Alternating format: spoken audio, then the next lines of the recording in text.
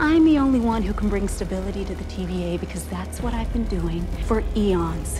When will you learn? That your actions have consequences! Loki Season 2, Episode 3. This one made me angry. I mean, it seriously ticked me off. I think we've reached the peak of delusional, nonsensical, contradictory characters forced to make idiotic decisions for the sake of a broken plot.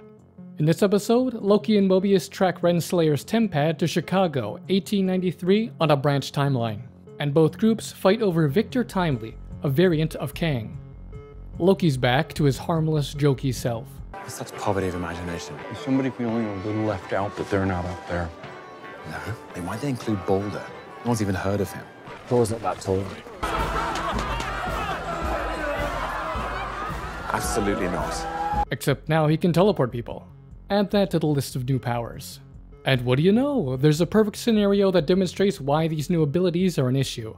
Loki and Mobius want to take Timely with them, but Renslayer threatens to kill him. This would be the perfect opportunity for an almighty pull or a Kamui. Speaking of Timely, time.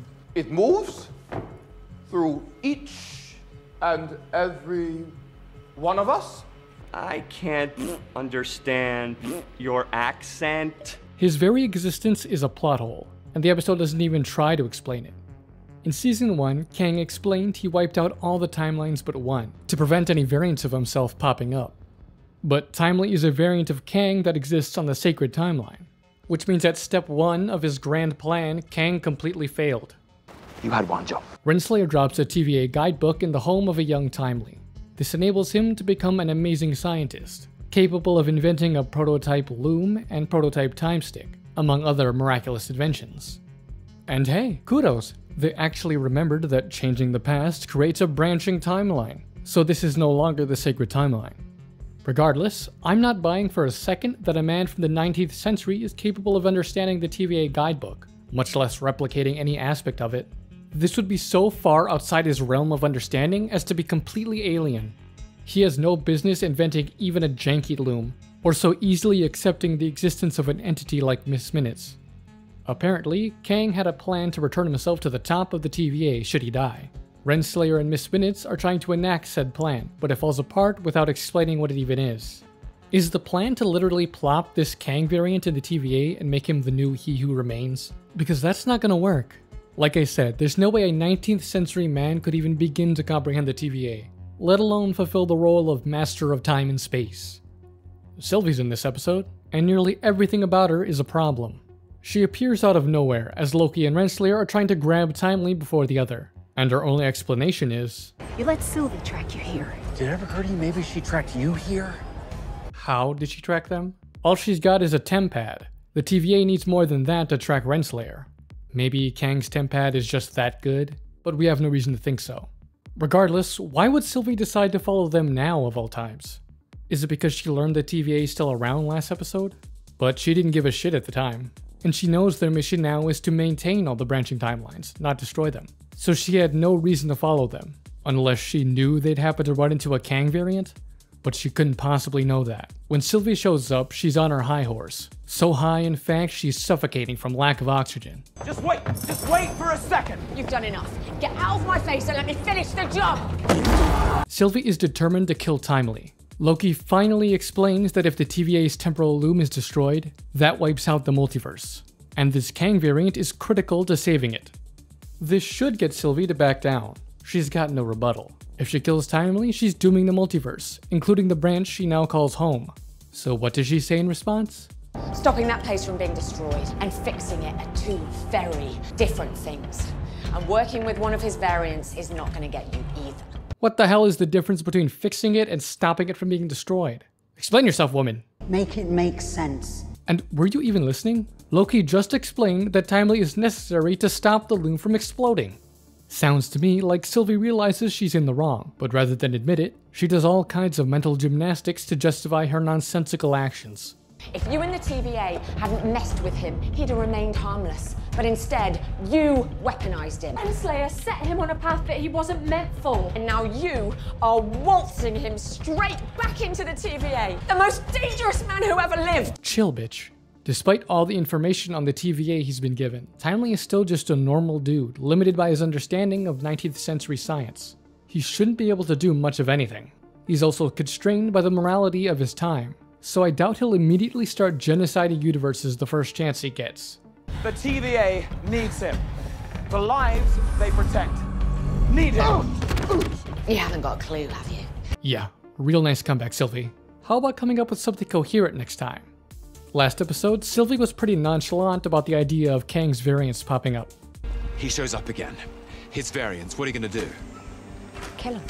But now that one has shown up, she immediately loses her goddamn mind. Guess she was bullshitting before to maintain her pompous persona. Except instead of admitting she was wrong, she pins all the blame on Loki. And then, during the fight for Timely, Sylvie and Loki blast one another, giving Renslayer the chance she needs to snag him. This is on you.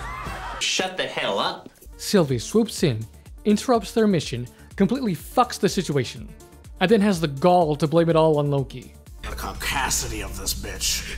At the end of the episode, she corners Renslayer, the person who ruined her life. Instead of killing her, like she explicitly wants to, she sends her to the end of time, because she's a stupid person. Sylvie doesn't know what kind of tech Kang has stored there. She was able to get a super special TemPad just by grabbing what was on his desk.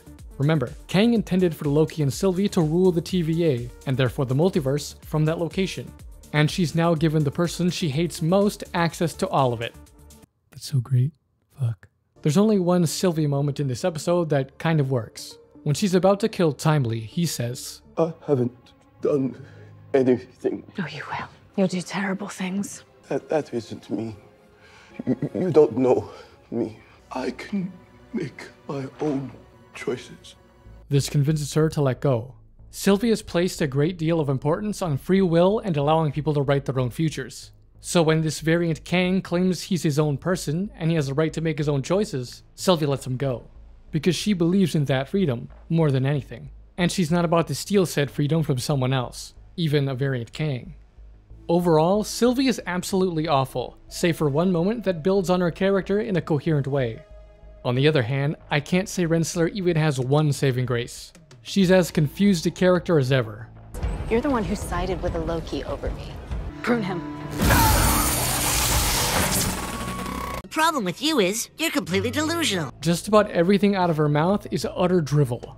Seriously, I don't know what reality she thinks she's living in. Mobius, you really are unbelievable. After all those years of doing your dirty work, cleaning up your messes, making the hard decisions you never had the nerve to make. What are you talking about? Mobius is just one analyst of many. She makes him sound like a crime boss. He worked for her, remember? If anything, he was carrying out her dirty work, not understanding he was living a lie. Did you happen to notice? The second I left, everything crumbled. I'm the only one who can bring stability to the TVA because that's what I've been doing for eons. What are you talking about? Come on, Renslayer.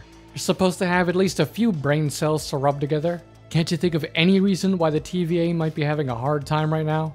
Could it be, perhaps, the fact that their entire objective as an organization has abruptly changed? Rather than prune any and all branches that appear, they're trying to protect the virtually infinite amount of branches sprouting into existence, which is an exceptionally more difficult job. I don't think losing one judge is as crippling to the TVA as she thinks.